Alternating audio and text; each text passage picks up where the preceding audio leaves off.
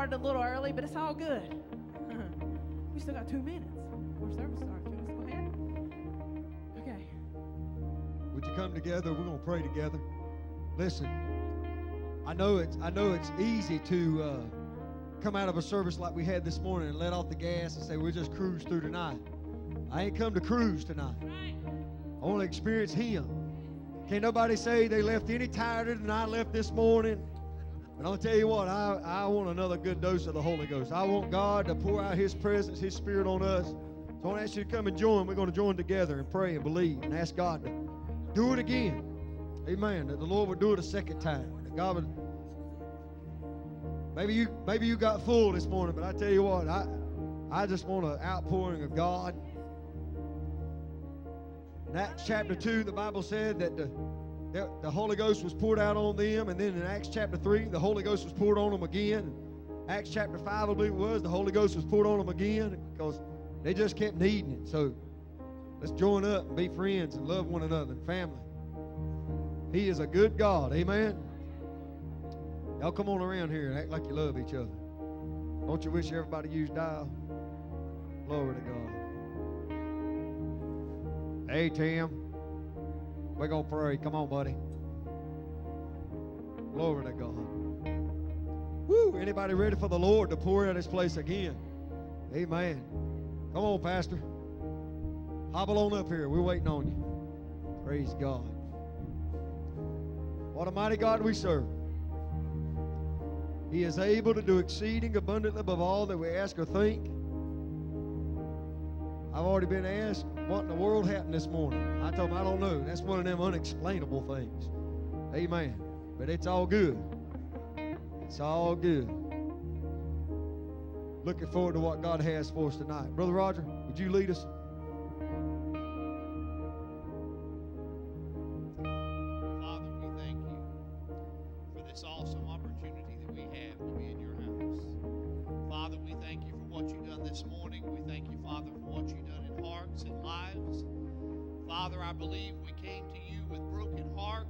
Contrite spirits. And I pray we'll do that again tonight, Father. Let there be no pride or arrogancy, Father. Let there be no flesh, Father.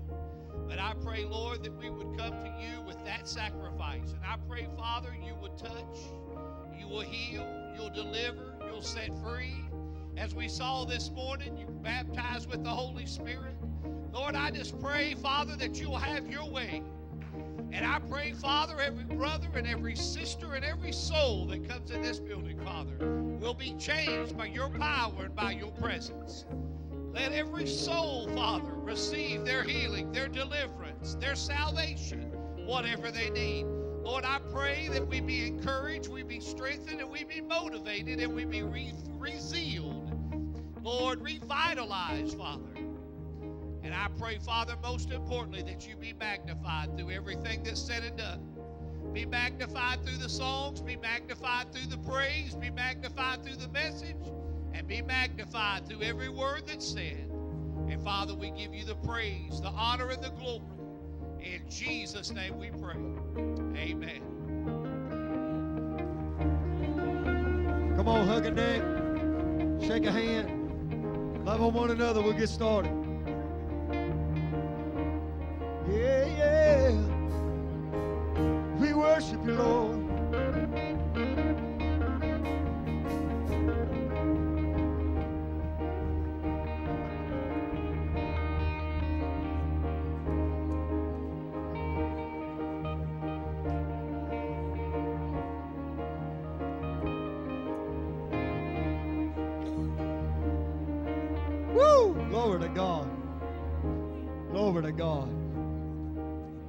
It's good to be in God's house. It's been good to be in God's house all day long. Praise God, it's good to be in His house. Phew. I still feel Him in the house. Amen. There's a sweet spirit in this place. Thank God for the unity, the conformity, the power, the presence, the move of God. As Pastor Roger alluded to in his uh, prayer, people were filled with the Holy Ghost this morning. I, I don't even know who all or what. I don't know what went on. I tell you, I told somebody I felt like I had a hold of 240. Brother Edwin said, I believe you had a hold of 480 this morning. I tell you, he said, I didn't know you could run that fast. Tell you, when the Holy Ghost gets on, you do things you didn't think you could do. The Bible said the hand of the Lord came upon Elijah and he outran Ahab in his chariot. Amen. You, when the Lord gets on, you can run. I'm telling you. I, I look for somebody else to run tonight, but I want you to run in the Holy Ghost. Don't run because you just want to run. Amen. They were picking on me today. They said, I thought Doris was going to take after you. I said, I'd look back and said, Follow me, sister. Let's go. Glory to God. I'd have, I'd have let it roll. Amen. Amen. It is good to be in the Lord's house. Let me, uh, I was supposed to do this this morning, but I'm sorry. Let me read a card. With special thanks to all of you, to know you is to know people who are kind, considerate, and thoughtful. To know you is to be grateful for the special things you do, for everything you've done, for being the special people that you are. Thank you so very much. I have been overwhelmed by the outpouring of love and support from this church family. I don't know how I could ever say thank you enough for the calls and texts, visits, dinners, child care assistance, and prayers. If I ever doubted where I belonged, I am confident in that now. My prayer is that God blesses each of you abundantly and beyond measure, loving Christ, Tabitha Engel. And we thank God for what He's doing in her life and going to continue to do. Amen. We don't do this a lot around here, but I just want to wish Sister Glenda a happy birthday. Today's her birthday. I, I told her, I, I told her uh, we were going to bring her up before the church and give her the right hand of fellowship. she didn't like that idea. Sister Lisa's is tomorrow. Brother Chad says she's going to be 28 tomorrow. So, and uh, he said he was trying to get some brownie points. And Doris's is Wednesday. She's waiting on me to say it over there. Doris's birthday's Wednesday. I want to make sure I covered everybody. So, God bless you. I thank God for for years in life. Amen. Yours was yesterday. Sally's was yesterday. Praise God. I'm telling you. God said, I'll give you long life, longevity. I'm praying that my birthday take care of tomorrow. When was your, yours? Was, yeah, Brother Chris, he, he turns the big 45 Wednesday, Thursday. Something like that. He's old. He's getting old. I know that. I'm telling you, he's above me. I do know that. Happy birthday to all of y'all. Come on, let's give them all a hand clap appreciation. We love our love our people. So after the service, if you want to, we all line up and give them right hand of fellowship. Y'all know what I'm talking about. all right. I guess between all of us, enough of us lined up, we probably account for their years anyway. Amen. Youth parents, please meet with Brother Chris tonight after service. He needs to speak with you. Um, and I'll tell you kind of what is concerning, but he needs to talk with you concerning uh, a mission project that I put the youth on. And uh, uh, he'll tell you more about that tonight. I don't want to ruin the surprise. All right. Uh, there's a mission project that our youth are going to take over here at the church, and uh, we're going to look forward to what God's going to do with that. Tomorrow night, CPC fundraiser at Bojangles. Please come out tomorrow night support that. Uh, support that. would encourage you to come out for prayer meeting tomorrow night. God's been doing some great things through our prayer meetings, through our prayer times. And what we saw this morning is a direct result of people praying. And uh, you, you like what you experienced this morning, you come and pray. And God will keep meeting with you. I'm telling you, it'll make a difference. Wednesday night, our worship services and uh, classes and those things. Saturday, there'll be a motorcycle ministry meeting. If you got any questions about that, see Brother Victor, Sister Whitney, Brother Carmen, uh, Sister Angel, one of those guys. Uh, men's conference is coming Saturday at the Lincoln Church of God. If you'd like to go to this, get with me after the service. Several folks have already told me today that they want to go, and uh, we want we want anybody that wants to go to go. There is a $15 charge, but if you can't do that now, or if you want to do that later, I got to write one check for all of us. So if you want to go and you want to get me, pay me back later, or whatever you want to do, or if you can't pay me, I don't care. I don't want anybody that wants to go not to be able to go. If you'd like to go, the name of the, the conference is called Guarding the Gates.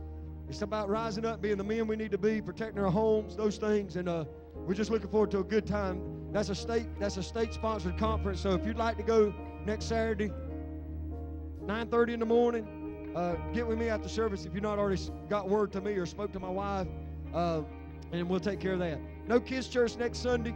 As I shared with you this morning, every fifth Sunday we're gonna every time there's a fifth Sunday, we're gonna take uh, that fifth Sunday off for the kids church to give them some time to rest and relax because the new format which we're doing it takes a lot out of our kids workers and we want them to be able to recoup and uh, do do things and, and get refreshed for the Lord. Peanut butter egg sale. A lot of people have already signed up out there, and uh, praise God that this will be uh, taken care of when the fast is over. I'm just thanking God for that. I done signed up for my four eggs. I I love peanut butter eggs. So if you're not signed up, you'd like to have one. That's going through the tent. I think is what I said. They'll, they'll get those orders out. And when will you be bringing those? The 13th. Going through the 10th and having the 13th. That's good. That's a good order right there. Now I'm telling you. Car and Bike Show coming up the end of May. They'll be able to tell you more about it. But we need to start getting sponsors uh, for this. If you know people that own businesses, run businesses, uh, maybe somebody wants to talk, uh, uh, do something in honor of somebody or in memory of someone. There's various ways you can do it. If you have any questions about that, see Brother Victor, Sister Whitney, they'll be able to give you more information. You ready? Well, that was weak. Are you ready? Listen, the scriptures declare that as you draw nigh to God, God will draw nigh to you. Now, if you just lay back and wait on Him to come meet with you, it's not going to happen. Well, preacher, how do I draw nigh to Him? Through your worship, through your praise, through your adoration. Make it about Him and worship Him tonight. If you'll keep that focus, just like you had this morning, I'm telling you, what God did this morning will be blown away tonight. You say impossible. I'm telling you, it's possible. It's possible. The Bible said that Solomon prayed a prayer, and when he prayed a prayer, that the glory of God filled the house, that no one could stand. We saw running and dancing and shouting and speaking in other tongues and all kind of great things that God did this morning. Done got one report. Uh, Eddie Mincy, we've been praying for him, and and uh, she told me we prayed for him specifically this morning. She got a report after church that he was laying in a hospital bed and give a thumbs up. This man was supposed to have been dead two days ago. God done turn around. I'm telling you, God's a good God. He hears the prayers. The Bible said that while we're while we're praying, the answer is hold the way. Thank God that He's on the throne. He's evident. God is watching. As I talked about this morning, I feel Him. Woo, glory. Y'all, y'all might want to sing because I feel the preacher in the house tonight. Glory to God. I feel Him. I'm telling you, I feel it. I thank God for what I. Glory to God. Let's let's pro, let's approach the throne of grace boldly tonight. Let's let's come before His presence with singing, with rejoicing. I say, clap your hands, all you people, and shout out to God with a voice of triumph. Know that, God, listen, you might not feel victory, you might not think victory's there, but God has promised us victory. Just go ahead and rejoice because He's promised victory. Whether you feel it, whether you think it, it's, it's there. It's there for God to do in your life only what But let's go to prayer first. Ask Him to have His way. We got several needs and requests we need to remember while she's pulling up. Let me tell you, Dusty Fowler. This is uh, Lisa Sparks' cousin, 31 years old. He's got bowel, intestine, and stomach cancer, and they're calling in hospice. 31 years of age. I know a God that can heal this. I know Him, folks. Are you with me? I know Him. I know what He's able to do. I know what He's able to turn around. God can heal Dusty tonight in the name of Jesus. Believe it. Frank Mosteller's dealing with cancer. Lori Ulmer, this is my, my cousin. She needs a deliverance. Margie Gables dealing with macular degeneration, but God can heal that. Fred Dellinger's in the hospital, been dealing with gallbladder issues. Diane Perkins, Kim's mom, needs a total recovery. Sister Melody was here, and I'm believing that we're going to be able to take her name off this list, that God done a total work in her. Amen. I want to pray that God continue to do a work in her. Suzette Grooms, pray for God to raise her up. Doctors are saying there's no possible cure for ALS. But what doctors can't do, God can do. Amen. We to pray for Suzette that God will do a miracle in her life. Continue to remember Wally Lucchese, who's on a ventilator. Pete Gilbert, want to continue to pray for him. Sister Elizabeth's grandfather, that God would just do a work. They called hospice in what? Two months ago? A month ago? Something like that? That thought, thought, thought, thought he was dying. God just turned it around. God can do that. I'm telling you, God knows what He's doing. Want to continue to pray for Eddie that God would touch him and minister to him. Continue to pray for Sister Janet. She says she's doing good. I like I like to hear them kind of reports. But I know that there's a, I know that the enemy would just love to take this cancer and, and, and devour her. But I speak I speak life in the name of Jesus. That God would just do a, a mighty work in her life. Pray, continue to pray for direction for the church and that God would just give us clarity God would just continue to pour out His Spirit upon all the, that desire Him. That God would just have His way. And all these other needs that are on our list. Several folks that we need to continue to pray for. God knows the need. God knows what's going on. And we're just going to bleed together. Would you grab your neighbor's hand? Let's join together in agreement tonight over these needs. There's power in the Bible said where two or three agree is touching any one thing, whatsoever they ask, it shall be done. I believe it can be done tonight. As a matter of fact, in faith, I speak it to be done tonight because we come together in agreement. The Bible declares that when we come together in one mind and one accord, great things can happen. Matter of fact, God looked down upon the children of men when they come out of Noah's ark, and He told them to, told them to go and disperse, but they wanted to build, build a tower into Babel. And He said, "Look at how the people are one; nothing shall be withheld from them." I'm telling you, they were in disobedience, and God said they could accomplish what they want. When you're in obedience to the will of God, what great things we can accomplish when you got God on your side and you're doing it under the will and the authority of God. Woo! Oh, Lord, I, I got about 15 avenues I could go down tonight, but I'm feeling something tonight, folks. Let's agree together. Father, we love you. You're a healer. You are a healer. There's testimony all across this congregation of healing, deliverance, God, where you made a way. And Father, we just bind together in the name of Jesus. The name that is above every name, the name that is above every cancer, the name that's above every sickness, the name that's above every disease, God, the name that's above every addiction, God, the name that's above every sin, the name, God, that's above every bondage. We speak and declare the name of Jesus. No other name like that name. And God, we just declare it right now. And Father, we just speak over every life, every heart, every body, in the name of Jesus, God, that your will be perfected and God, that you be glorified. Touch every person that's here tonight, God, as we've joined hands all across this congregation. I pray, God, that the divine will of God be accomplished in every life, in every heart. God, that you would help us to walk as you'd have us to walk and be what you'd have us to be. Father, I give you the glory. I give you the praise and the honor. As already been said, I pray, God, that every word that's spoken, every song that's sung, God, that it bring you glory tonight. God, that you be lifted up on high. For if you be lifted up, God, you'll draw all men unto you. And God, I pray that you draw folks to you tonight in the name of Jesus. Father, I just pray tonight that you don't take your foot off the gas pedal. God, I pray that you take us to the point that you want to take us to. God, that we surrender to you and begin to walk in you and just delight in your presence. God, that we begin to praise you and magnify you and worship you. And God, I would just say right now, Holy Spirit, come. Holy Spirit, have your way in this place tonight. Holy Ghost, show the evidence of your presence in a mighty way. And God, allow us to rejoice in your presence in the fullness of who you are. Hey, I pray in the name of Jesus. Holy Ghost, have your way. Holy Spirit, come. You are welcome in this place. You are welcome in this place. And we thank you, Lord, for your presence, for it is evident, God. I can see it on every face. I can see it in their eye, God. There is a hunger.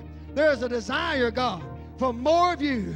Lord, I thank you for this morning. But God, we came back tonight for a refilling and infilling, God, an overflowing power, God, that only you can give. And I just pray, God, that your will be done. You're a good God. You're a good God, and I praise you tonight. I give you the glory and the honor. And God, we just want to give you praise in Jesus' name. Come on, folks, put your hands together. Would you worship the Lord? He's a good God. Come on, worship.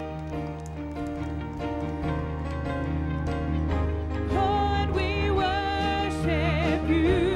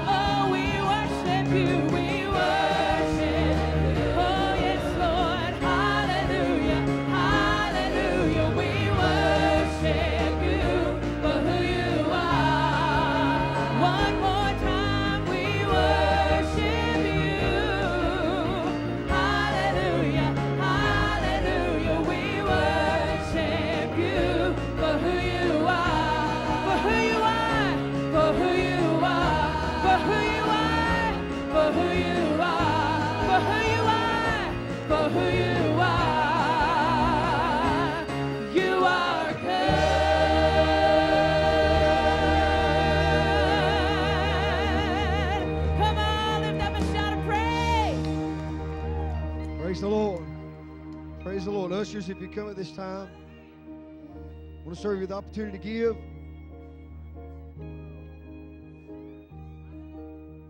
I just want to let you know that uh, probably, probably the next few days, I'm going to start pushing a mission project that God has just laid on my heart. If you'll look out on the welcome desk out there, I know that we've not taken on any mission project as far as an all year type thing. But there's a some flyers and some different things that are going on out there. It'll say YWA, which is Youth World Evangelism. Um, I can't remember what they. Anyway, it's it's it's it's a project that's going on in Africa. They got what they call a fire line, where it kind of goes through the middle of Africa. The northern part of Africa is predominantly Muslim, and the uh, and the southern part of Africa is is is mostly Christian. And what's happening is there that firewall that's in the middle, the Muslims are coming down into the Christian part of the nations. These are Muslim converts, people that are converted from Muslim back to Christianity. And they're going down there and they're threatening, they're bribing, they're doing all kinds of things and converting Christians back to Muslim through their needs and through these things. But what, what the churches want to do is begin to build some ministry centers on that firewall so that as the Muslims try to cross they have to cross these ministry centers where there will be people that begin to do things evangelistically, training, things of that nature. It's a big, big undertaking. This is what I'm, this is what we're going to do. I'm looking I'm looking for 50 people. It's just going to be a one-time shot. But we're looking for 50 people. And anywhere from a dollar denomination to a $50 denomination range. I'll have some envelopes, and you can take one of those envelopes, and as, as soon as you can, it ain't, it, we've got till the summer, sometime in June, to do this. But you pray and ask God what He'd have you to do. Take one of those envelopes when I get them out there, whatever denomination it is, and just put that amount of money in there. If you got a 20, a, a one with a 20 on it, put $20 in it. If you got one with 50, put $50 on it. I can tell you the $40 was already taken and the $50 was already taken. So those, those are taken. If you if you if you'd like to help somewhere in that range, just get one that's close to it, the 49 or 48 dollar whatever. But if we can do that, we'll raise twelve hundred and seventy five dollars to go to this project, just with 50 people participating, anywhere from a dollar to 50.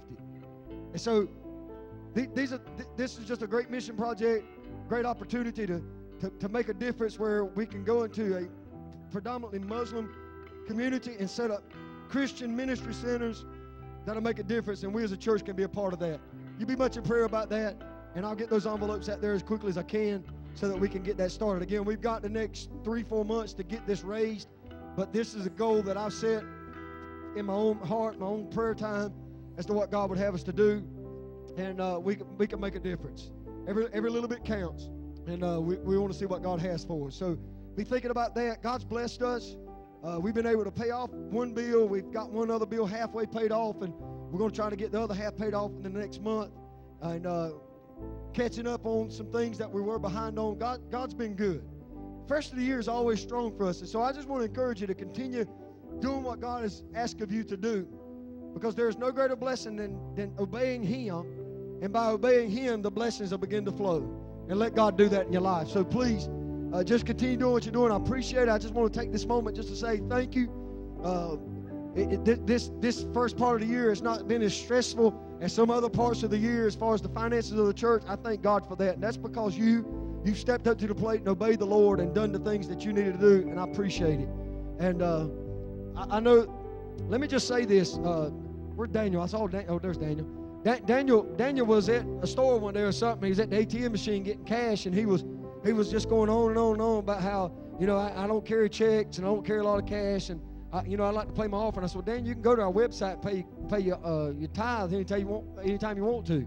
For those of you that don't know that, you can go to our website and there's a donate button on there. Just donate, market tithes, and and, and, and send it. You can set it up through your PayPal account. You can set it up with your your, your, your debit card or whatever, and you can do it that way. And, and, and it's easy, it's simple, and you don't have to worry about forgetting.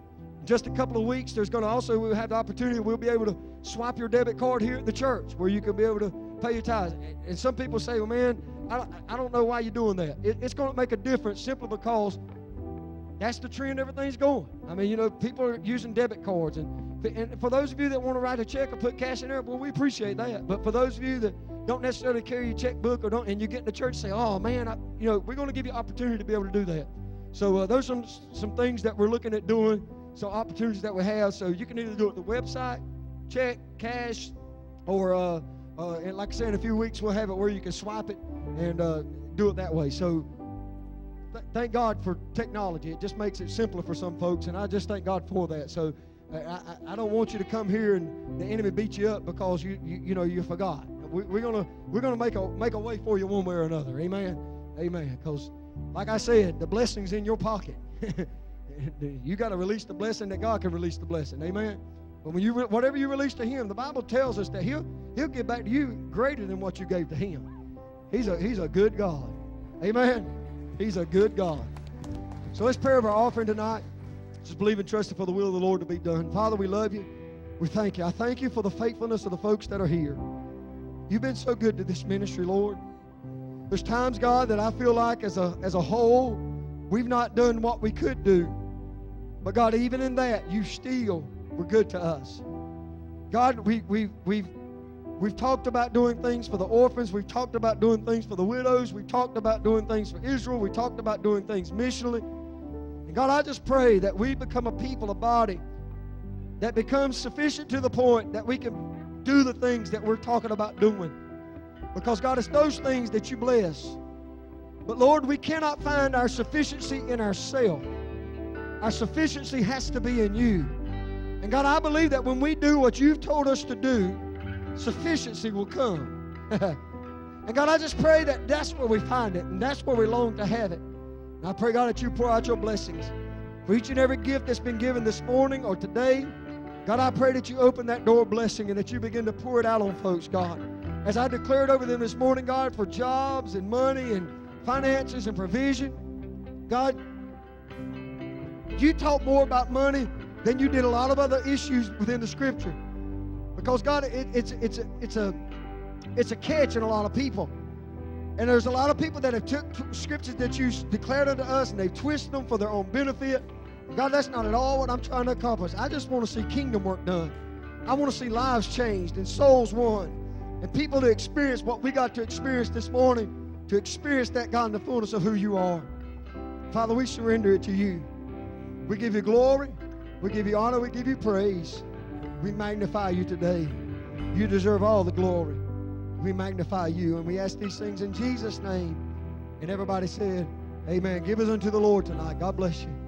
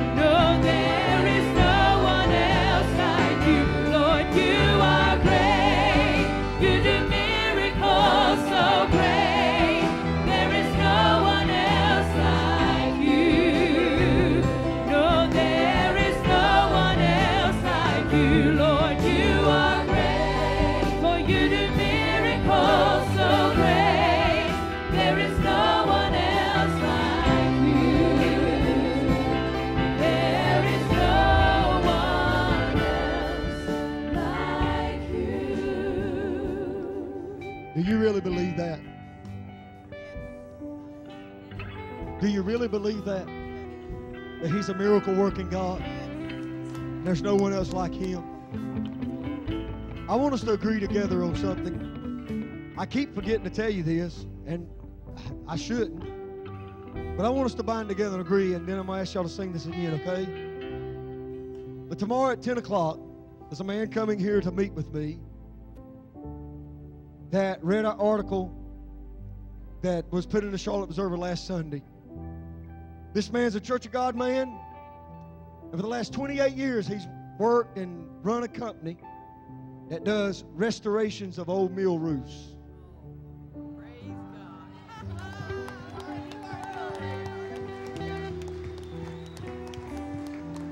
I'm sorry I've been holding out on you, but I had a few things on my mind. I don't know exactly how that conversation is going to go, but I know that God has a plan. This man just called me out of the blue and said, Pastor, I read the article and I'd like to come meet with you. I don't know what's going to happen. I don't know. Look, I'm, I'm, I'm telling you something. I've been preparing for rain. I, I've already met with a guy about the parking lot, and he threw a number at me that made me want to sit down. All right? Because, you know, I, I, but I believe God's up to something. And I don't know what this man's going to do tomorrow. I don't know what he's going to say, but he, he and I had a great conversation. He kept calling me friend. I hope that's a good thing. He said, Look, look friend, I, I, I want to come look at your building. I, I, I was excited about what God's doing, what, what I read. He said, I, I've been in the church of God, and he said, I, you know, he, he told me a story. But I want us to agree together that if it's the will of the Lord and that God's going to work through this way, because I'm going to tell you something, I don't want anything that's not the will of God. Are you with me? I I want the will of the Lord. Paul asked God three times to remove a thorn from it. And God said, No, I'm going to leave it there. You know what? If God wants this roof to stay leaky to keep us humble, I'll keep this leaky roof to stay humble. But if God wants to touch the heart of this man, he come in and say, Look, we're going to take care of this for you. I'll take that too. Because there's a lot more things I want to focus on rather than a leaky roof. Are you with me? So, do you believe that God is great? He can do miracles so great. I'm asking you to do it one more time. Would you join up with your neighbor? If you would stand, if you're already seated, would you would stand? If you if you believe that God is great, that God does miracles so great, I want you to join up, and I want us to get points of agreement, and I want us to agree that God touched this man's heart, and that whatever the will of the Lord is for this roof, well, we get big agreement parties now, where they all join up. Amen. Start talking about the roof and save money. Everybody like, come here, give me a. but the Lord just touched my heart over there and told me that I need to share this with you. That we need to come together. We need to agree that whatever the will of the Lord is, I, I'm not going to pray selfish. I just want the will of the Lord. But if this is God working and this is God saying, you know, I got you, son, I, I got this church, I got this ministry, and you're getting it in the right direction, and I'm going to take care of you, if that's what God's doing here, then I want us to agree that the will of the Lord be perfected. More than anything, okay? Would you agree with me, Father? In the name of Jesus. God, I do not believe it was by chance that this man called. I do not believe it's by chance that we're going to meet tomorrow. I do not believe it's by chance, God, that you're working these things out. But Lord, I'm praying for your will to be perfected. You're a great God. This man, I, I want to come meet you. And God, you know what you're up to. Father, there, there are some great things that I've heard over the last two weeks of what's going on and what you're doing and the provision that you're giving. And Father, I'm asking you, please, in the name of Jesus, Lord, let your will be done. Let your glory be revealed. And God, that if you'll touch the heart of this man, it Lord, I know, God, that you'll pour a blessing on him like he's never seen before. I know that, God.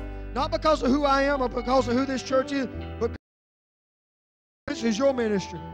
And Father, we come together in a point of agreement under, I'm obeying you, God. You just touched my heart and told me to come out and really challenge. You do miracles so great. Lord, I don't know what this meeting's going to hold tomorrow. I don't know what people are going to do and I don't know what people are going to say, but that's all right. But God, I believe there's something good to come out of this tomorrow. And I pray, God, that your will be done, that you be perfected, and that your, your will be perfected in our lives. God, if this is to stay with us and this is to keep us humble, then God, let it stay with us, keep us humble. Because God, more than anything, I don't want this to become some flashy show. I don't want this to become some flash in the pan moment. But God, I believe that your hand is on this ministry, that your divine will is going to be perfected. And all the honor and all the praise. And we give it to you in the precious holy name of Jesus. And all of God's people said, Amen. Come on, worship the Lord. You're great. There's no one like you. Come on, worship the Lord. Now, would you really just go ahead and worship Him? Come on, let's just go ahead and worship Him. He's great God. He's a great God.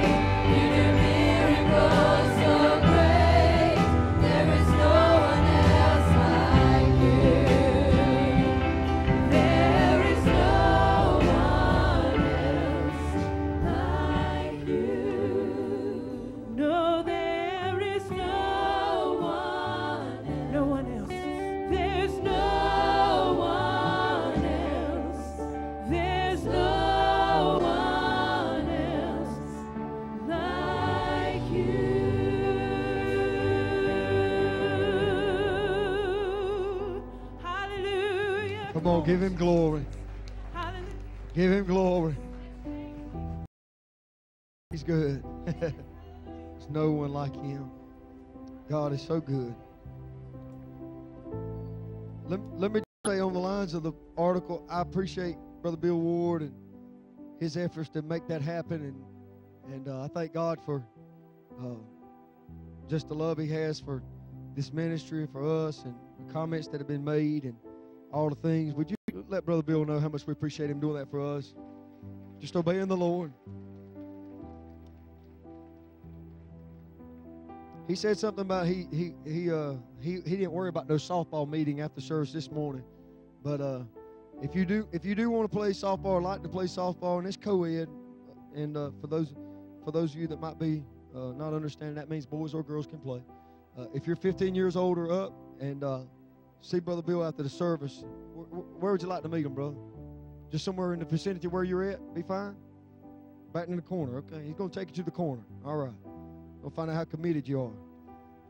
So uh, if, that, if that's something you're interested in doing, like to do, I, have had several people say to me before about wanting to play softball and these kind of things. And I'll be honest with you, I don't know how much effort or time I could put toward it, but uh, if that's something that you'd like to do, he'll meet with you in the back corner as soon as service is over. So uh, we're looking for what God has to do. Luke chapter 4. Luke chapter 4. If you would stand for the reading of God's word, if you're not already doing so, please. Please honor God's word tonight. Luke chapter 4, we're going to look at verses 14 through 21.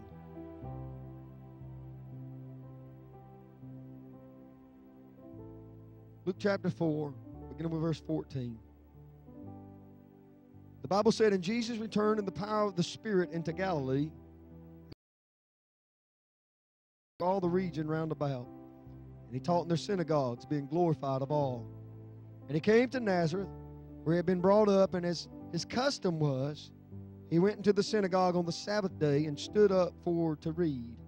And there was delivered unto him the book of the prophet Isaiah. When he had opened the book, he found the place where it was written, The Spirit of the Lord is upon me, because he hath anointed me to preach the gospel to the poor. He has sent me to heal the brokenhearted, to preach deliverance to the captives and recovering of sight to the blind, to set at liberty them that are bruised, to preach the acceptable year of the Lord. And he closed the book and gave it again to the minister and sat down. And the eyes of all them that were in the synagogue were fastened on him. And he began to say unto them, This day is this scripture fulfilled in your ears. You know, you read that portion of scripture, and a lot of attention is placed on verses 18 and 19, the, the, the prophecy, the prophetic words of Isaiah that Jesus began to declare them. But several years ago, I was reading through this scripture, and verse 20 gripped my heart. The Bible said he closed the book, gave it again to the minister, and sat down. This part here got me. And the eyes of all them that were in the synagogue were fastened on him. I want to minister tonight eyes on the Master. Eyes on the Master, avoiding spiritual blindness eyes on Him, avoiding spiritual blindness. Father, we thank you tonight for this opportunity that we've been given to come into your house, to be ministered to by your Spirit, to hear your word and to grow. I just pray, God, for whatever time we have left tonight, God, that your will be performed. God, as we talked about this morning, God, that you would hasten your word to perform it. God, that you would begin to do in us what only you can do. And God, I just pray that we don't lose focus. It's easy to get lost in hype, it's easy to get lost in emotion, it's easy to get lost in flesh. God, if we can just keep our eyes on you, Lord, we can see some great things. And Father, we just surrender what you're doing in us. We just surrender to you. God, that your glory be revealed in us. God, we give you the praise. We give you the glory and the honor. And we ask all we ask in Jesus' name. And everybody said, Amen. As you're being seated, would you hug your neighbor and tell them, keep your eyes open?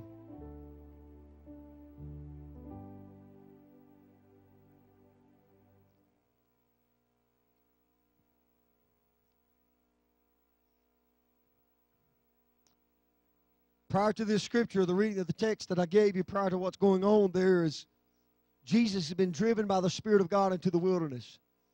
40 days, 40 nights, he'd been fasting and praying and seeking the face of God and was tempted of the devil while I was there.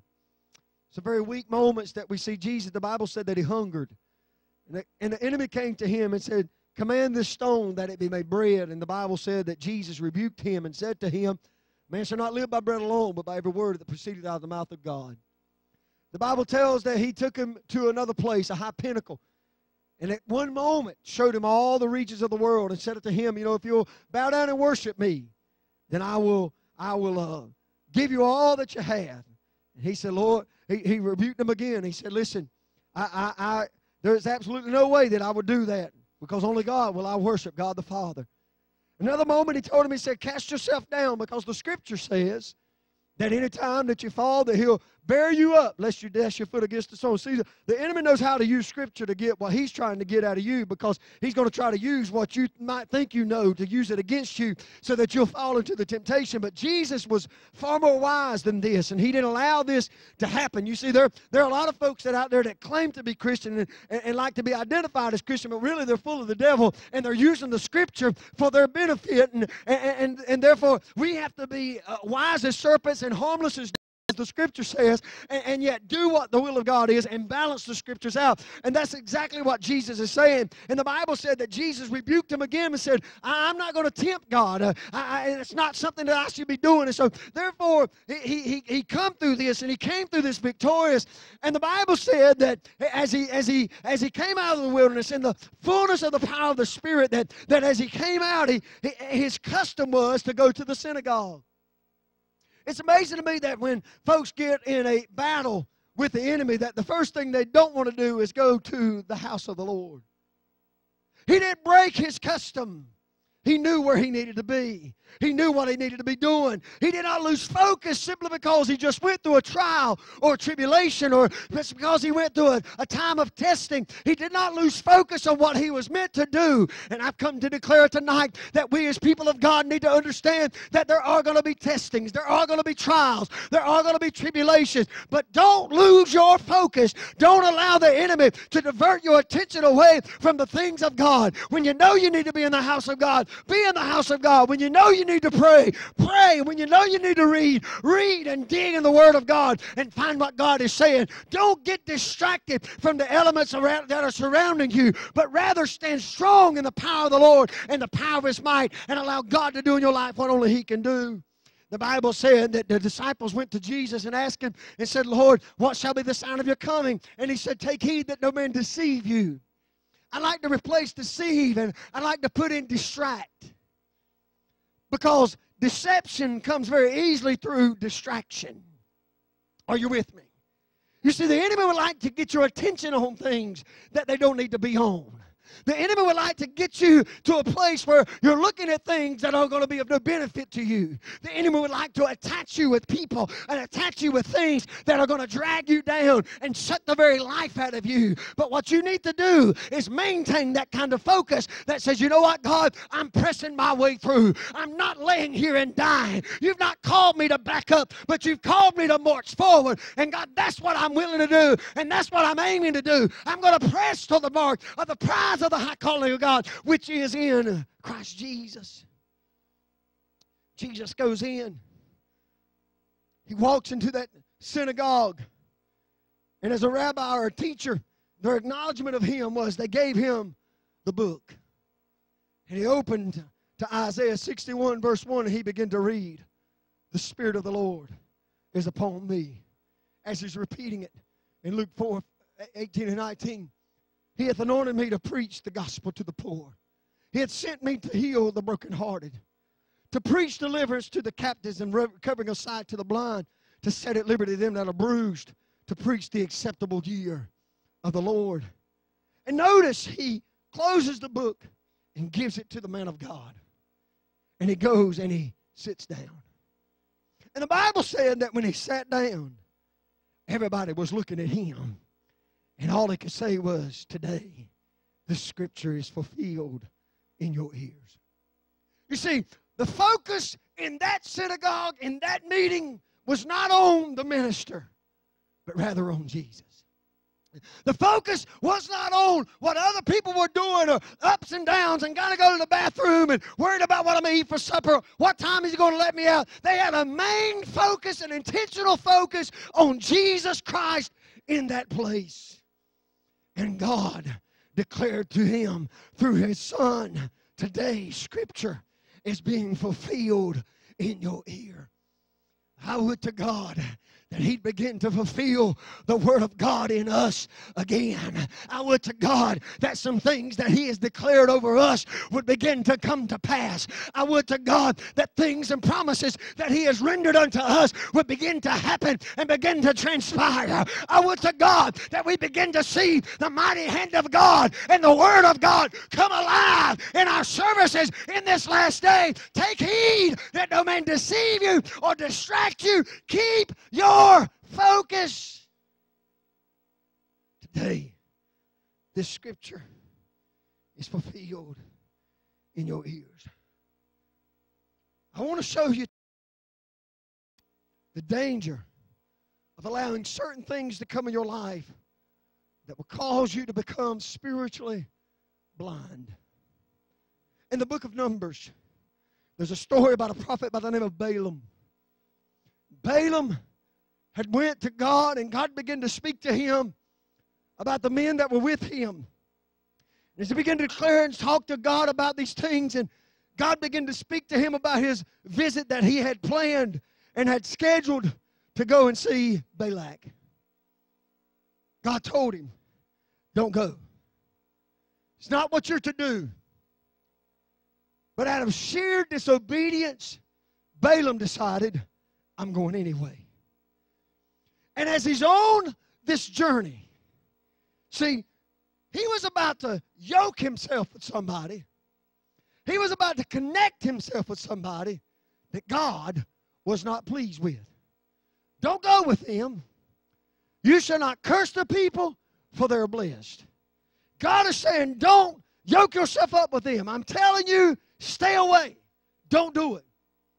And Balaam, out of sheer hard headedness, disobedience, rebellion, whatever you want to call it, hopped on his donkey and began to ride toward Balak's house.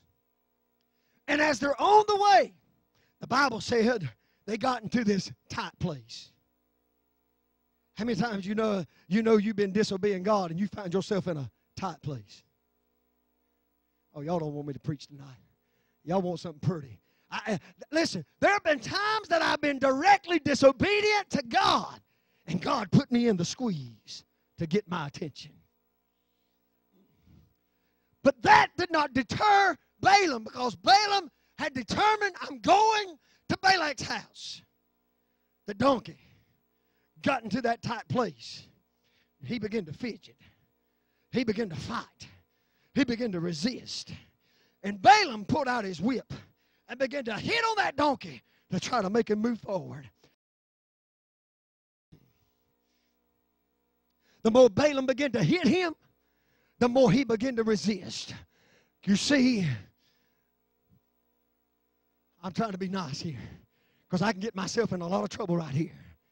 You see, the donkey was a lot smarter than the donkey that was riding him. Are you with me? So I'm being nice right now. But he beat him to the point that the donkey said, I'm not going any further. I find myself up against something I don't want to be up against. I find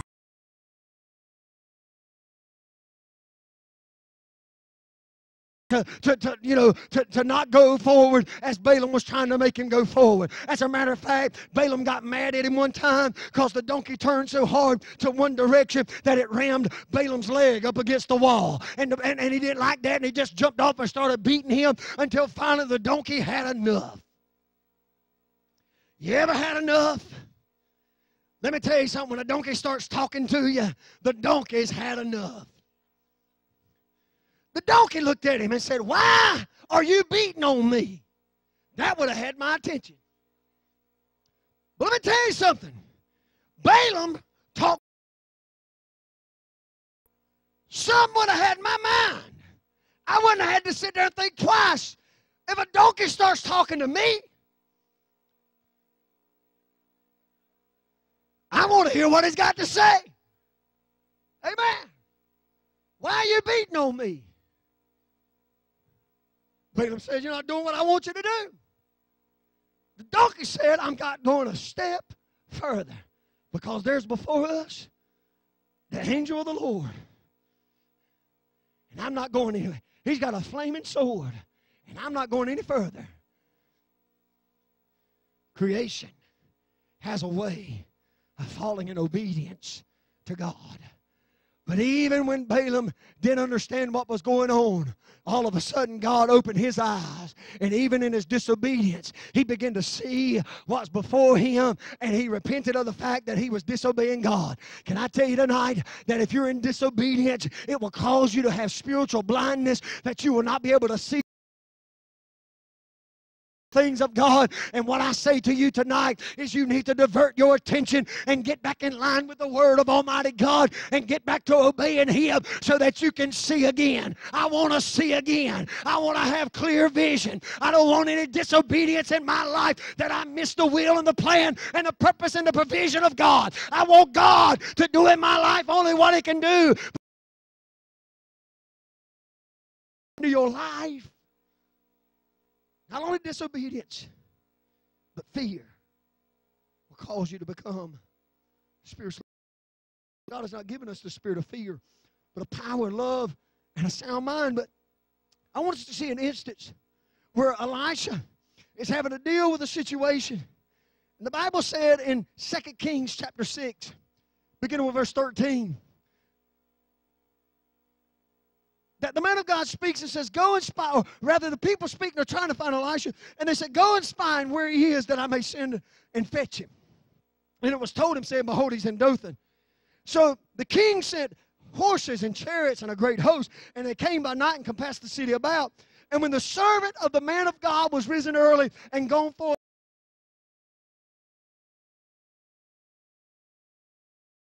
said unto him, Alas, my master, what are we going to do? We're in trouble. Fear gripped him because all he could see was the enemy encamped around about him. All he could see is that he was encompassed by the power of the enemy. All he could see was the chariots and the swords and the bows and arrows and all the stuff that they might, might have brought to capture one man. I'm going to tell you something. The devil's scared of you when he sends out a whole troop after you. Can I? Whew, See, we look around and we see an enemy. I look around and I see victory because it's an opportunity for God to show up and say to us, I'm going to get you through this. Woo! David said, God, the enemy is compassed all around me, but God, you can cause 10,000 to fall at my right side. God, you can do it. And I'm telling you what he did for them, he can still do for us. Don't you fear and don't you be afraid. God will see you through. Over 365 times in the scripture it says, Don't be afraid. I think God's serious about it, folks. But this, uh, this, this, this servant, Master, what are we going to do? And Elijah spoke to him, and he said, Fear not, for they that be with us with them. Can I tell you, the devil might have took so many angels when he fell from heaven, but they that be with us are more than they that are against us. Can I tell need strong men standing on your side, on your left, on your right to keep you in the midst of a battle. If you're standing right by yourself, if God be for you, who can be against you? Can I tell you tonight that there's absolutely no weapon that the enemy can form against you that will prosper? As you heard this morning, when the enemy comes in like a flood, the Spirit of God will raise up that standard against him. You don't have to fear. Of whom shall I fear? And of whom shall I be afraid? I will not back down because I know that the Lord is on my side.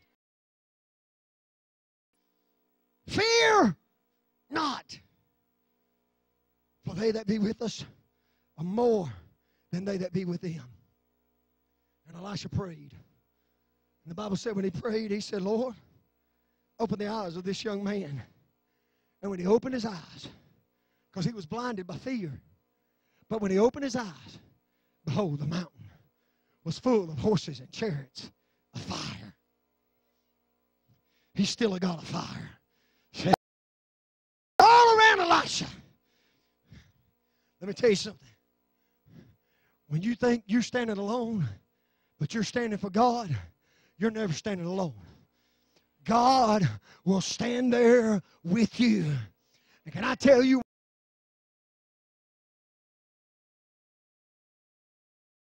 Side. David said, If it had not been for the Lord who was on my side, Goliath tried to kill him, but he couldn't kill him. A lion tried to kill him, but he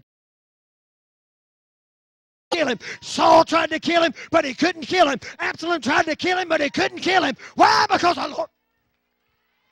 The Lord was on his side. The Lord was on his side. I said the Lord was on his side, and God saw him through. Fear not, they that be for us are more than they that are against us. Don't you fear. He saw the mountain full of horses.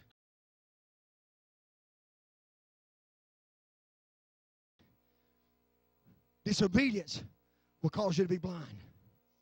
Fear will cause you to be blind.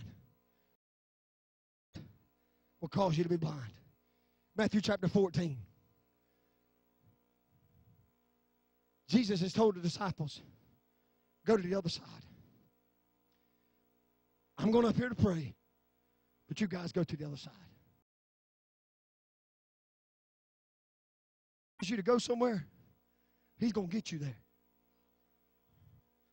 Are you with me? If he tells you to go somewhere, he's going to get you there. It doesn't matter what storm comes. It doesn't matter what trial comes. It doesn't matter what tribulation comes. If Jesus has told you to get there, he's going to get you there.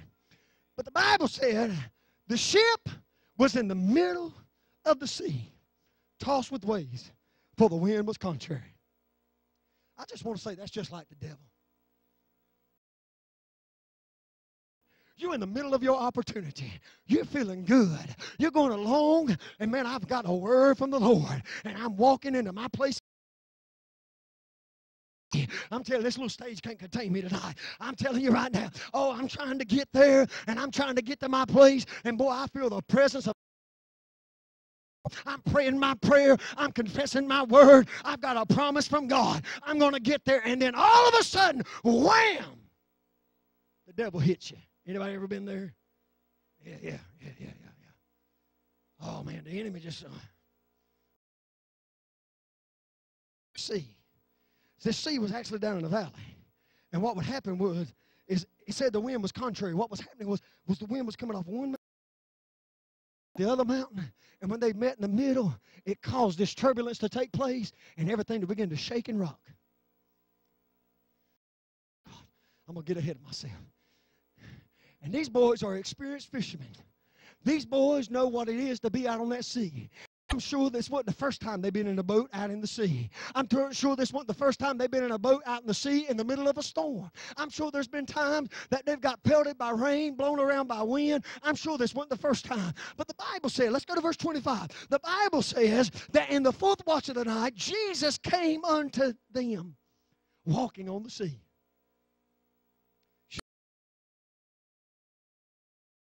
On Sunday morning, there's a there's a there's a plaque on there that says presented by Sister Ella Taylor. Sister Ella Taylor went on to be with the Lord not too long ago, and she she uh, she she was in her 90s. But I remember Sister she had one of them snow white hairdos and that power tower hairdo. You know what I'm talking about? But boy, I remember when she'd get up to sing, she had one of them deep alto voices, and she'd begin to sing, "Walking the sea." He walks the sea. Jesus, he came to them that night, walking the sea. And boy, she'd walk while she was singing it. And I got to thinking about that song, got thinking about Sister Taylor as I was thinking about this message. And I thought to myself, you know what? I imagine she could see it as the Lord come into her life and as the Lord began to do some things in her. But as these disciples were struck with fear in the midst of their journey, that the Lord told them to go. Let me let me just back up for just a moment. Actually, let me jump forward just a moment. You see, the enemy did not want them to get to the other side. Why?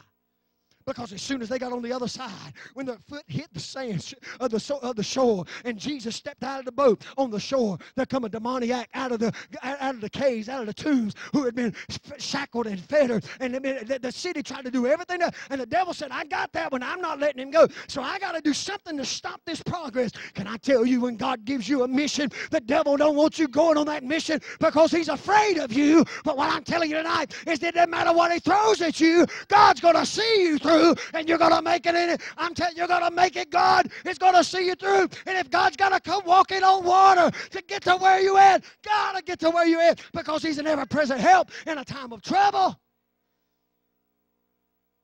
Walking on the sea. It's a spirit. It's a ghost. Peter said, "Wait a minute. That guy looks familiar." Lord, is that you? Peter, Lord, if that's you, call me to walk on the water. Come. No argument, no debate. He said, Boy, if you're that bold, come. Now I know that I'm looking at a bunch of people tonight that like to walk on water, but I'm probably looking at a bunch of people that never have walked on water. Wave at me if you ever walked on water. We're going to trade places. Doris, you walked on water? All right. Praise God. I, pray, I bet you felt like it sometime. And we beat Peter up a lot of times because he's zealous. He's anxious. He jumps out there sometimes, cutting people's ears off, making proclamations, saying things like you are the Christ, the Son of the living God. And then the next minute trying to rebuke Jesus, and Jesus having to rebuke him. Peter was a zealous fellow, and we beat up on him all the time about some of his shortfalls and shortcomings. But I want you to know this next part. Peter was coming out of the ship, and he walked on the water. Man, there's so many ways we could take this tonight. But what I'm telling you, what happened was, is that when Jesus said, Come, what that was supposed to be sinkable all of a sudden became solidified. And Peter, when he stepped out in faith on the command and the word of God, the Bible said that he began to was he going? He was going to Jesus. I got to get to where he's at. I don't know about you, but I've been tossing this boat long enough. I'm going to where the Lord is. I don't want to be in here with you scallywags anymore. You've been down, you've been fearing, but I heard the voice of God, and I'm going to go where the Lord is. And if that means I got to walk on water to get to where God is, then I'm going to step out and begin to walk on water to get where the Lord is. I'm telling you, the Bible says that Peter walked on the water. Go to the next verse. But, don't you hate it, those buts in your life? I know that might go, not go over too well with some of y'all, but I've, I've had some butts in my life.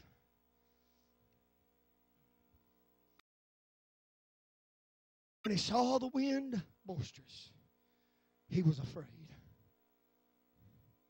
He was going to Jesus, folks. The Lord had told him to come. The Lord had already told him to go to the other side, and the wind came, and it scared him. Now Jesus said, Come to me, and the wind comes, and it scared him.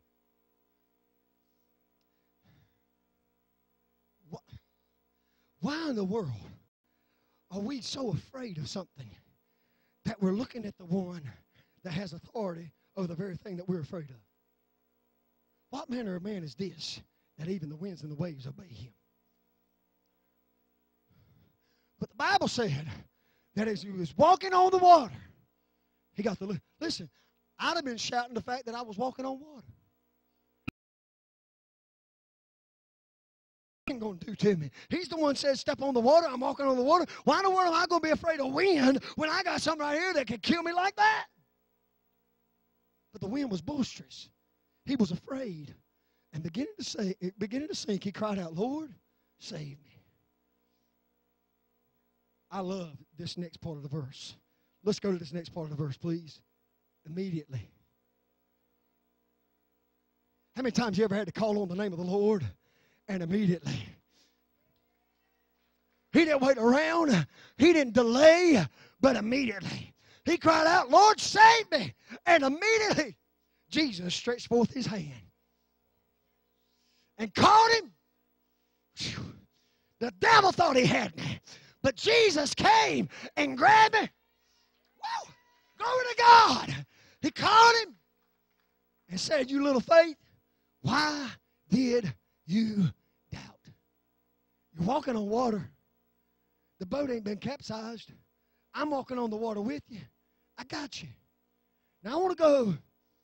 If I can play it just a little bit here, if you'll give me some liberty, I want to play just a little bit. Because there's absolutely nothing in the scripture. Because when you, let's go to the next verse, go to 32. And when they were coming to the ship, it doesn't say how they got back there.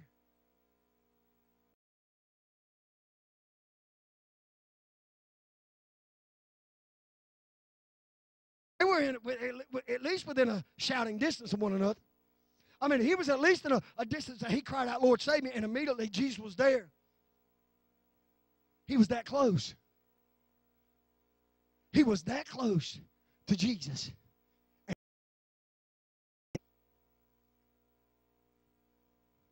Folks, I'm telling you this. If I've ever believed that we're living in the last days, I believe we're living in the last days right now. And I can hear Jesus saying, Come. Come unto me. Come unto me, all your labor and heavy laden, and I'll give you rest. Come. Come, drink of the water of life freely. Whosoever will, let him come. I can hear. And there's some folks that are just this close. And all of a sudden, the enemy strikes fear in the heart, puts doubt in the heart, puts disobedience in the heart, and they begin to sink. But how many know you can still call out to the Lord? You can have water up around your knees, around your waist. You call out, Lord, save me. And I believe with all my heart that the Lord will stretch forth that hand and catch you up. That Lord, oh, the Lord will take you and protect you and guard you. And so let me play just a little bit. He's done rebuked him. He told him he had little faith. He's asking him why did he doubt. But I don't believe that the Lord took it any further. Because he had to look at Peter and say, Well, you gave it a try, son. You did better than the rest of them did. The rest of them still about shaking, wondering what the world's going to happen to you. But at least you were willing to get out of the water and walk with me. I believe one of two things happened. Jesus got him by the hand, and he's caught up, and he's got him by, he got him up safely. And I believe one of two things happened. Either number one, Jesus had a conversation with him, and they walked back to the boat. They had to get their Jesus caught him up. He swooped him up in his arms. And he said, Come on, son. I'll get you back to safety. I'll get you out of this.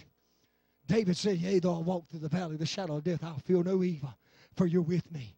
Can I tell you, it's like the old footprints.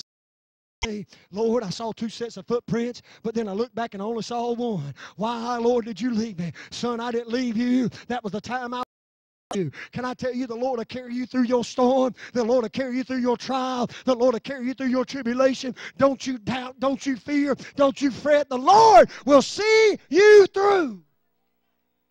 They got them back to the ship. And look what happened. And when they were in the ship, the wind ceased. That which the enemy tried to divert the attention of the mandate that was on them to go, the wind See, can I tell you what happened this morning? The Lord stepped in the boat.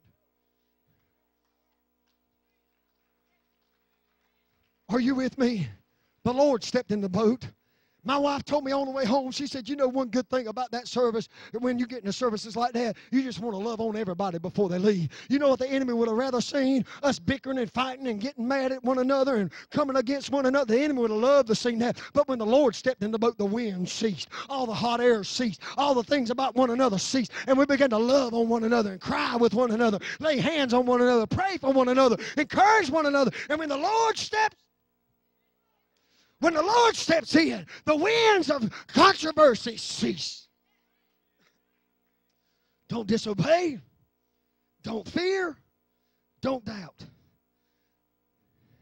And when they were coming the ship, the wind ceased. Then they were in the ship, came and worshiped him, saying of a truth, Thou art the Son of God. Revelation. Revelation wiped away doubt. Revelation wiped away fear. Revelation wiped away disobedience. Revelation wiped away lack of faith. There was something powerful about what transpired. So I want to conclude this way. I want to see him. Brother Major, you sing that song, Oh, I want to see him. Look upon, I want to see him. But John tells us in his word that something has to transpire for us to see. He said, Except a man be born again, he cannot see the kingdom of God. There is a distinct difference in being born again and having a confession of faith. Are you with me? I mean, you can come down and make a confession of faith all day long. But if you go right back out in the same hell and live like you always live, you ain't been born again. Jesus told Nicodemus, except a man be born again, he cannot see the kingdom of God. What has to transpire? There has to be a total transformation in your life of repentance and betrayal of the old life and flesh and through the Spirit allow God to do in your life and to take you to places you never thought possible, which, which requires full surrender. To say to God, God, I am yours. I listened as I was praying for Brother Chad this morning, and this is what he kept saying God, forgive me, but Lord, do in me what you want to do. Going to tell you something. Pastor Roger hit it on the head when he was praying earlier. It was broken and there was contrite spirit in this place this morning. Oh, we shouted. We were happy. We were excited. We were doing something. But I'm telling you, when you got broken and you got contrite and you finally said, you know, enough is enough, God said, I'll be near you. Except a man be born again, he cannot see the kingdom of God. Now, you know the rest of the conversation. Jesus said, well, Nicodemus said, Lord, how can a man be born the second time? Saying he's been born the first time, how, how, how in the world can this happen? He said, first a man's born of water, but then he's born of the blood. You can't take blood out of the equation, folks. If you go on down in John 3, you'll see where Jesus said, John, Nicodemus, listen, God so loved the world that he gave his only begotten Son, that whosoever believed in him should not perish but have everlasting life. And God sent not his Son into the world to condemn the world, but that the world through him might be saved. Wow. What some powerful scripture. Oh, I want to see him. Oh, I want to look upon his face. And I know that song sings a lot about heaven. That song's talking a lot about heaven, talking about, you know, that we're going to get to see him one day and we get to behold him as Lord. But you know what? We can see him now. We can see a move of his spirit. We can see a move of his presence. We can experience him in his greatness. And can I tell you, when you see him, you'll never be the same. Three examples, real quick, and I'm closing. Moses. Moses went up on Mount Sinai and he went up before him and he began to speak to God, and God began to speak face to face with him. He was having an interaction with God, fasting and praying and getting the commands from God. Moses made a request of God God, can I just see you? Lord, please let me just see you.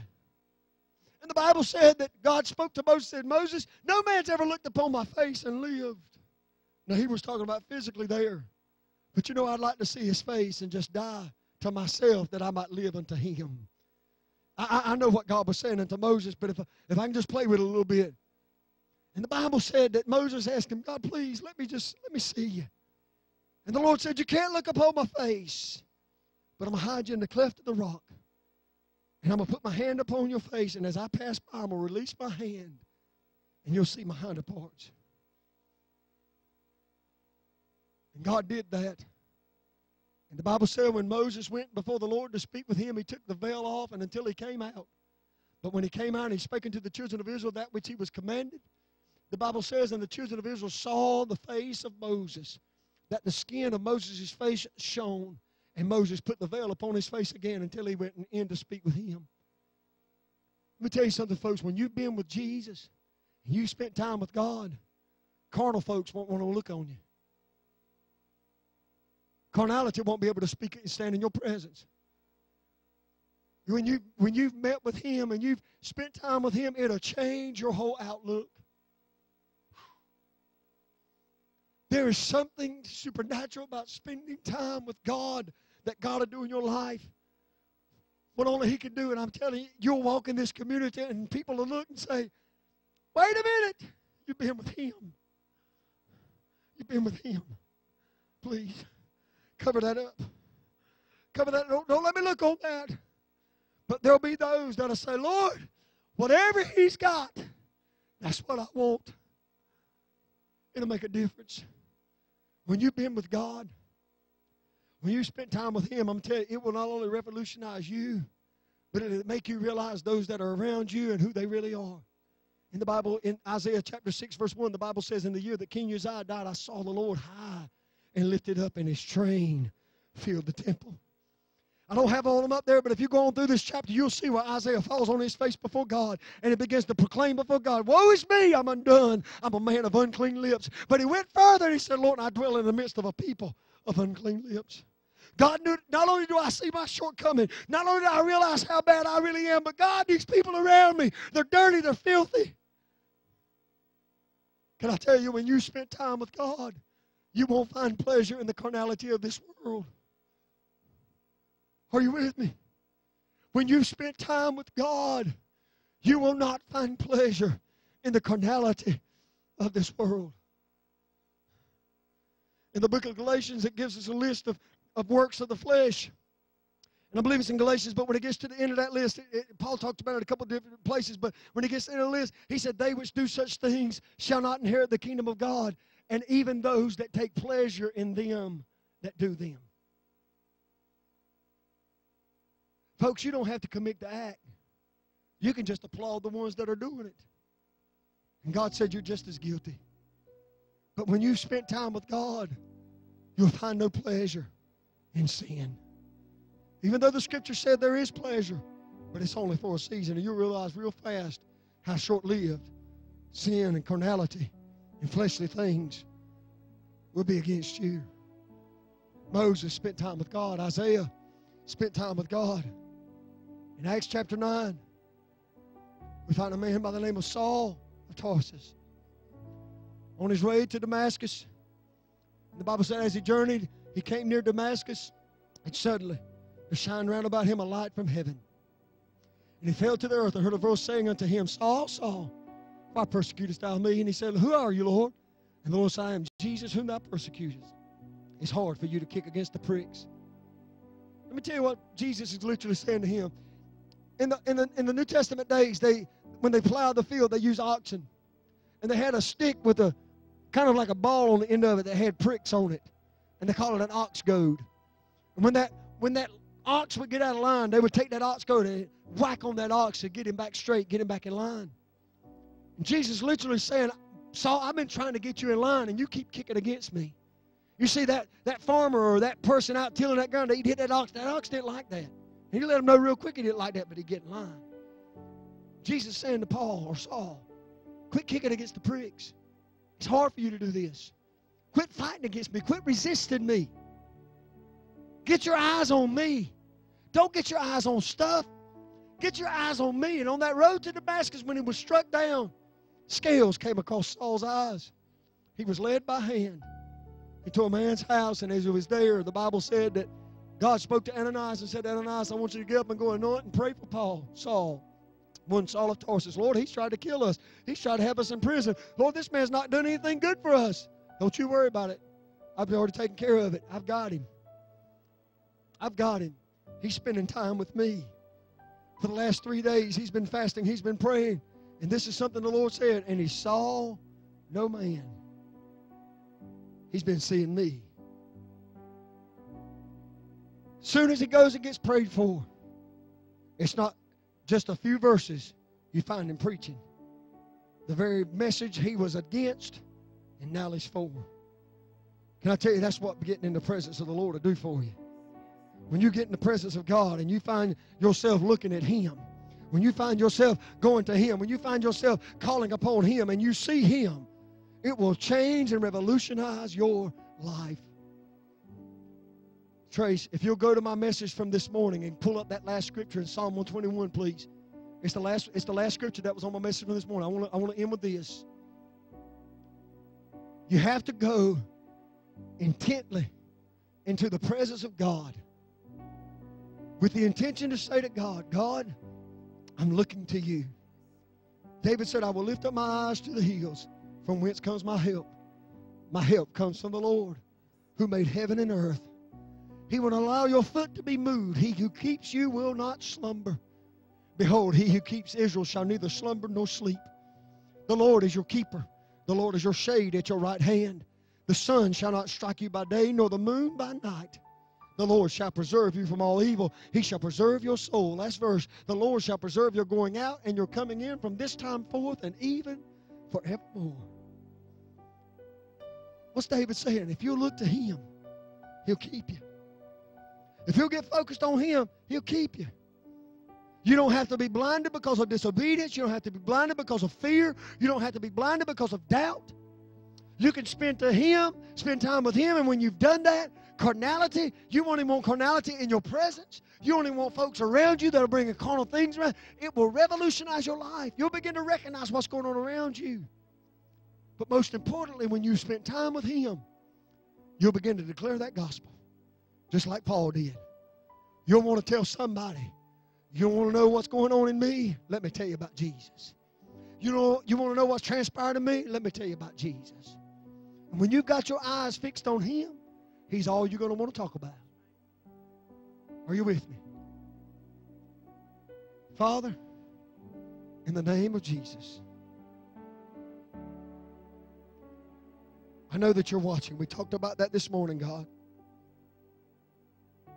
I know that you're looking down upon us. The Bible says in Psalm 53 and 2 that there was a day that God looked down upon the children of men to see if there were any that did understand, that did seek Him. God, there's absolutely no doubt in my mind that you're looking on us. But Lord, we need to look to you. The writer of Hebrews said, looking unto Jesus, the author and the finisher of our faith. Let us lay aside every weight that so easily besets that we can run this race with patience. God, there is a, a, a encompassing of witnesses that are all around us. And Lord, the enemy will love to strike us with fear. The enemy will love to strike us with doubt. The enemy will love to get, cause us to walk into a place of disobedience to try to steal from us the opportunity to see you. But Lord, I just want to I want to tell you I love you so much. I love you so much. And I thank you for this night. In Jesus' name. Let me give you two things. Tracy, if you could pull up Deuteronomy 3 3, I believe it is. I, I may be guessing there. I know it's in the third chapter of Deuteronomy. But I want you to think about something for just a moment. Moses has seen water from a rock. Moses has seen the Red Sea part and the enemy drowned in that Red Sea. Moses saw all these great miracles of God. I mean, he watched his rod turn into a serpent and eat the other serpents. He watched the he watched the plagues as God told him. Said, "This is what I'm going to do." He watched God do these things. And as I just shared with you just a moment ago, Moses saw the hinder parts of God. And if I've got the right scripture, Tracy, you probably know what I'm talking about. But the scripture says in Deuteronomy, Oh Lord, you've just begun to show your servant your greatness. Now, folks, I'd be excited about water from a rock. I'd be excited about watching the Red Sea part and uh, uh, a, a multitude of millions of people walk across on dry ground and then watch the enemy be encapsulated in that sea and, and, and God give victory. Moses saw all this and his, his one of his final declaration was, Oh Lord, you're just beginning to show your servant your greatness. The computer's acting up. We just have to go, we have to wing it here.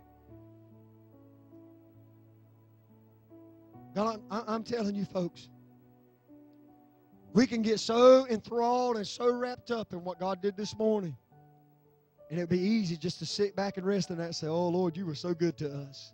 Next Sunday, we can come here and we can just keep talking about next last Sunday. Oh, Lord, you were so good to us. But can I tell you in all honesty, we hadn't even scratched the surface of the greatness and the outpouring of God. And one of the dangers that we have as Pentecostals, and I, am not ashamed to tell you, I'm a fundamental Pentecostal. I believe in the Word. I believe that God established the church in Pentecost. I, I believe that. I'm not throwing off on anybody else. I just believe that when Jesus built his church, he built it on. He told Peter, "I'm going to build my church here." And Peter went into on the day of Pentecost, and the power of Pentecost fell. I, I believe in the power of Pentecost. But I believe, I believe with all my heart that one of the great dangers we have in Pentecost is that if we're not careful, we'll have services like we had today, and we'll set up monuments, and we'll just just relish about those things. We've we've done it for years. We say things like, "You remember when?" Little granny would get to shouting, and all of a sudden she'd wrap her arms around the pot-belly stove, and it was red hot, and not even her hair on her face was singed. We'd start reminiscing. Don't you know the same God that moved on Grandma to wrap her arm around a pot-belly stove can still move on us today? Why, why we got to reminisce when God is still present? But we'll build monuments there, and we'll build, we'll build statues, and we'll hang plaques, and we'll say, oh, on this particular day, God did this. Brother Tony in the Church of God, I mean, every Brother Chad's taking the test, Brother Chris taking the test, Brother Rogers taking the test. Every every test that an ordained minister has to go through, he has to remember that at Shearer Schoolhouse there was an outpouring of the Holy Ghost and 100 people received the baptism of the Holy Ghost. And we sit there and we say, look what happened at Shearer Schoolhouse. Well, I thank God for what happened at Shearer Schoolhouse. But you know I want to see? I want to see God do it in Daystar in 2014 that people get filled with the Holy Ghost. But we can set our eyes on monuments and, and, and moments and miss what God's wanting to do today. Wasn't God good then? We almost give him a funeral. You remember how he used to be. You remember what he used to do. And it's almost like you're speaking over him like he's dead. But God's not dead. Yes. He's still alive. And he's vibrant and he's fervent and he's moving and he's healing and he's delivering and he's filling and he's doing great things. Don't lose focus. Yes. Yes. Keep your eyes on the Master. If you're going to put anybody on a pedestal, put Jesus on a pedestal. Because he said, if I'm lifted up, I'll draw all men unto me. I'm a nobody trying to tell everybody about somebody that can save anybody. That's who I am. Ain't nothing special about me. I, I, I, I'm in the fight with you. I just I just been afforded the opportunity to call to be able to stand and declare what God has said. But that doesn't make me nothing special, no more special than anybody else. It's all about Him, folks. And that's exactly where the glory needs to go. I mean, people looked at me and said, Boy, I ain't never seen you do this, that, and the other, and all this other stuff. and more." Listen, that was the Holy Ghost. Because I'll be honest with you, in my flesh, because I ain't got no sleep in the last three, four days, in my flesh, I was fighting everything I could, but God just kept giving me strength. I was looking for Brother Danny to come over and lay hands on me one time and try to pray that supernatural stuff on me again, like he done before. I, I just kept moving. I didn't lay down because I prayed he'd come get me. Amen. You had to be there. That was the old building. But what I'm saying to you tonight is this look to the hills, look to Jesus, find him. And I know I said I was going to close about three times already, but this is the last one, I promise. In the Song of Solomon, one of the most beautiful love stories you ever seen in your life. In chapter 4, the Bible says, Thou hast ravished my heart, my sister, my spouse. Thou hast ravished my heart with one glance of your eye. What that bridegroom literally said to that bride was, Honey, every time you look at me, my heart beats faster. See, I'm the bride. He's the bridegroom. And I believe every time I look toward heaven, Jesus said, Oh, they're looking at me. They're calling on me. They're believing in me. They're trusting me. Oh, Lord, I just want you to send the Holy Ghost down there and meet with them. Oh, let's love on them for a little while. Let's meet with them for a little while because they're looking to me. I'm their source. I'm their way. I'm the truth. I'm their life. And I'm doing it in their life. We just stand because I could preach another 30 minutes. Somebody told me I had to make up for this morning because I didn't preach a message. And I, I, I try not to do that. But what I want to say to you tonight is this is that there's greatness on this ministry. There's greatness on us. There's great opportunities that are before us. And we can see it and talk about what God does within here, and we can talk about it within ourselves, and we can build monuments, and we can talk about these things. Or We can take what God has empowered us with within these walls and take it without these walls and speak life into people who are dead. I believe God still raises the dead. But not just the dead physically, but I believe God wants to raise the dead spiritually. I heard it quoted this morning when someone was praying for me. They said, Lord, this is that which was spoken of by the prophet Joel. Sons and daughters prophesy, old men dream dreams, young men see visions. I Upon my handmaids, my men servants, while I pour out my spirit. And that last part, as Peter declared it, all that call upon the name of the Lord shall be saved. I believe God can still take people that are dead in sin and trespasses and raise them up. How do I know that? Because He did it for me. And I'm not trying to give you a salvation message tonight. If you're lost tonight, you need to come and you need to call on God. And I'm telling you, just as sure as He grabbed Peter, He'll grab you tonight. He'll save you. I believe that. If you're here tonight and you're wrestling it spiritually and you're you're you're in conflict in your soul and, and you're battling battling things, I'm telling you, just as sure as, as the world, if you'll just cry out, Lord, save me, He'll grab you. He'll catch you. He'll take care of you. He'll get you back to safety. He'll get you back to the boat. But what I'm looking at tonight is some hungry folks. Brother Todd told me this morning, he said, Pastor, I was up at 6 o'clock, 7 o'clock this morning, something like that. He said, All I told God was, God, I just don't want a usual church service. I don't want just some singing and preaching. God, give us something supernatural. I heard from a lot of people. Whitney and Victor told me, said, We came to church and we was declaring, I'm coming expecting. I'm tell you something, folks. What we experienced this morning was not I come in here with a briefcase with something special and whoo, everybody get magic pixie dust and we all shout. No, people came in hungry, people came in desperate, people came in longing, and God met with us because we had our eyes on Him. What I'm saying to you is this: don't lose focus. Avoid spiritual blindness. Allow God to speak into your life. Very simple altar call. I want us all to come together and pray. Not at your seats, around these altars. And ask God. If there's scales on your eyes, ask God to drop the scales from your eyes. If there's disobedience, if there's fear, if there's doubt, ask God to help you with that. Ask God to change it. Ask God to take you into His presence so that your life will be revitalized and revived and that you'll be changed and turn around. Let God speak it to you.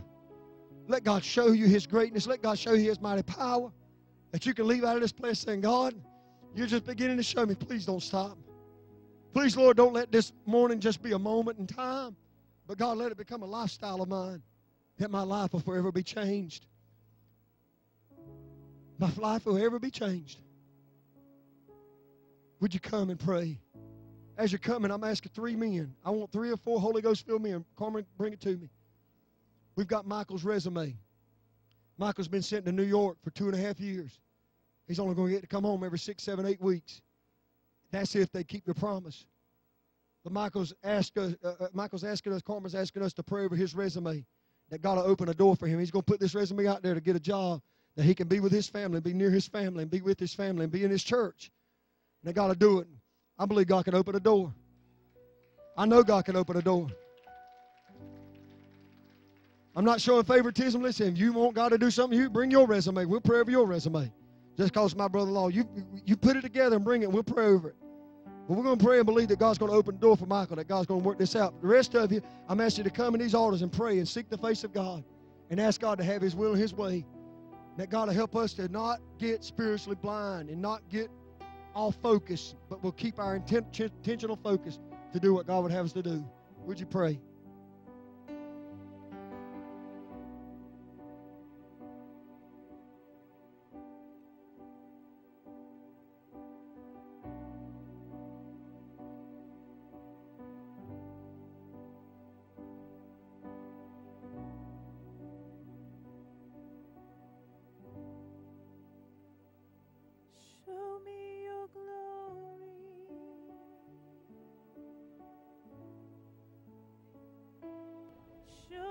Glory,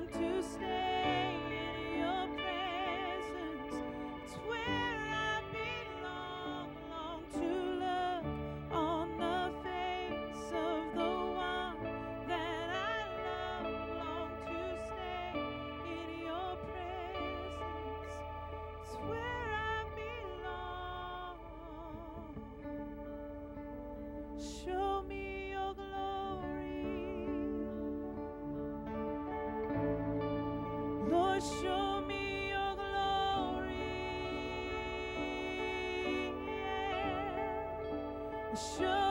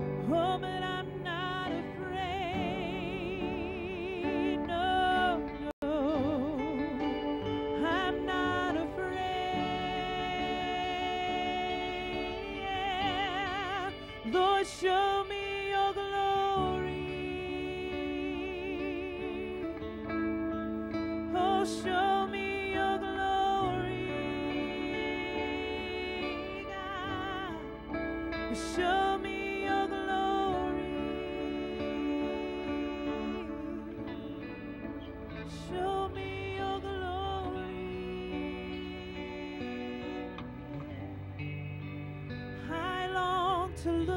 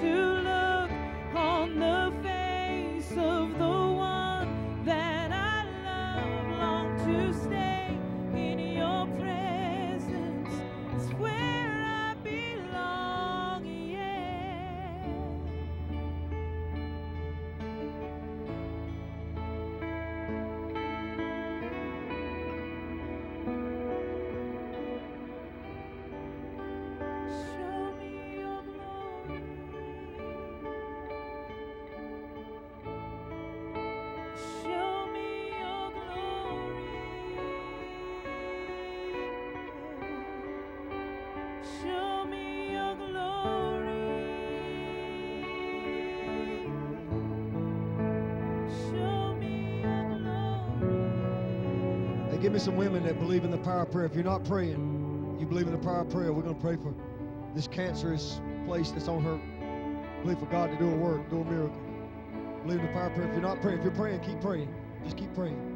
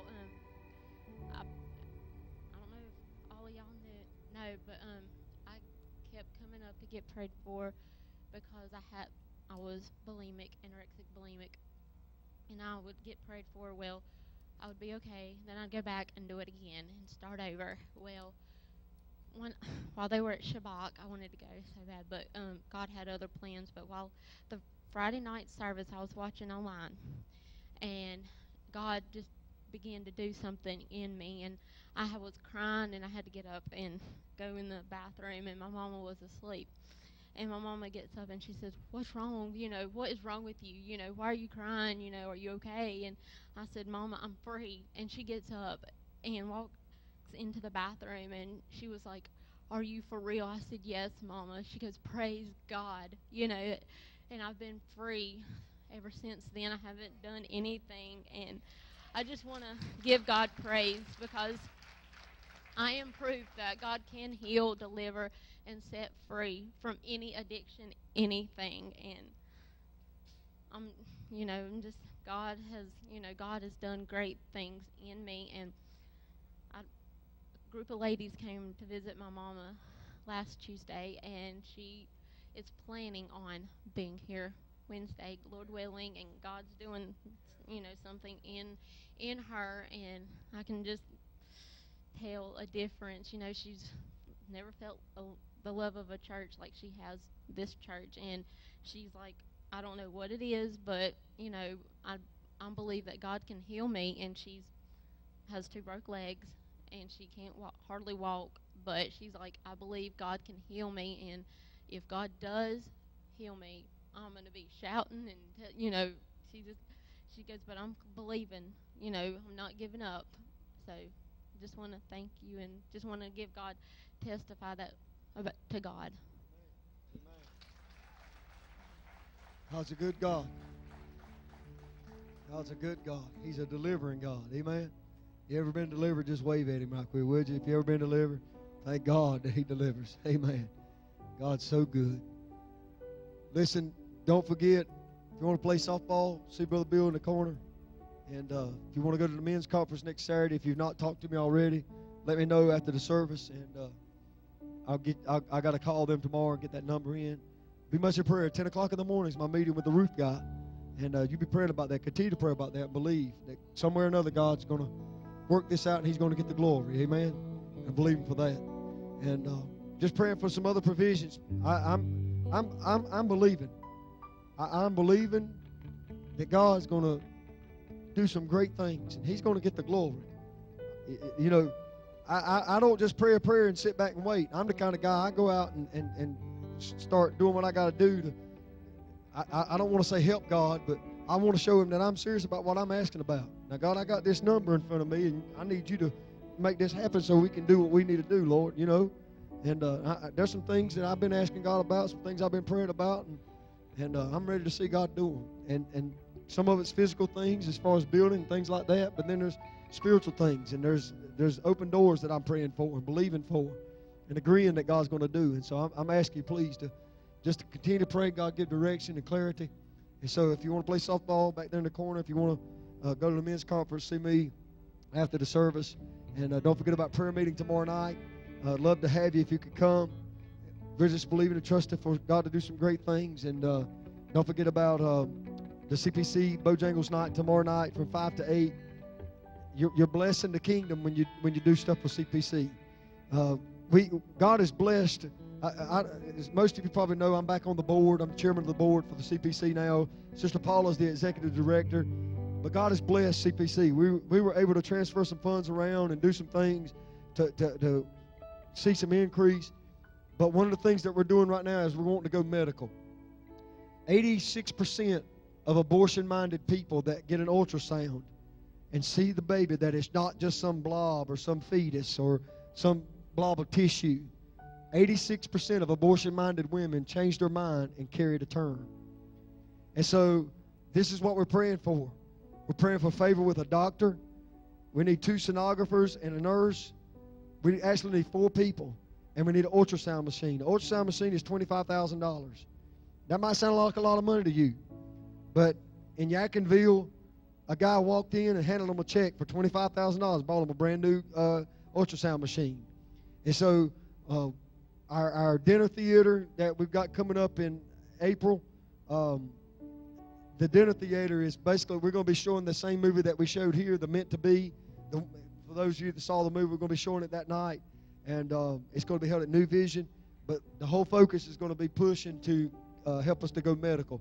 I think we've got somewhere around eight thousand, nine thousand dollars right now toward the twenty-five thousand. Plus, we need the doctor and the sonographers and the uh, a nurse to be there. We're not supposed to be doing anything on the medical side, and so help us pray about that. And uh, like I say, if you go to the fundraiser tomorrow night, you're going to be helping support that cause. If you can't make it tomorrow night, uh, you, you've done a great job with the baby bottle blessings. I appreciate that. Sister Paula has pushed about the five dollar army. She's just looking for enough people to, to, to do five dollars a month. If you can do five bucks a month, I think there's some uh, some uh, flyers out there. She'll send you a, every month. She'll send you an update. She'll send you a newsletter letting you know, uh, you know what's going on at the center, needs of the center, and, and there'll be a little envelope in there for you to do your five dollars. We're getting ready. Stephanie and Greg are getting ready to help build us a website. Um, as soon as I get the board to pass that, and uh, we're going to get it where you can donate online if you need to donate online. We're going to try to get all that uh, and make it as easy and accessible as possible. So that's going on tomorrow night for that. Of course, Wednesday night service. Uh, please don't forget about that. Brother Chris needs to meet with the parents. We got a lot of meetings going on. Uh, if you want to play softball, see Brother Bill real quick, and then come see Brother Chris. Let him talk to you about this mission project here within the church for our young people, or or, or somehow or another we'll work this out. But uh, please see them, and uh, don't forget about that, and don't forget about the other things that are going on. Some of this stuff's going on over the next few weeks, so I'm not going to go through that stuff again. So I appreciate you being in the Lord's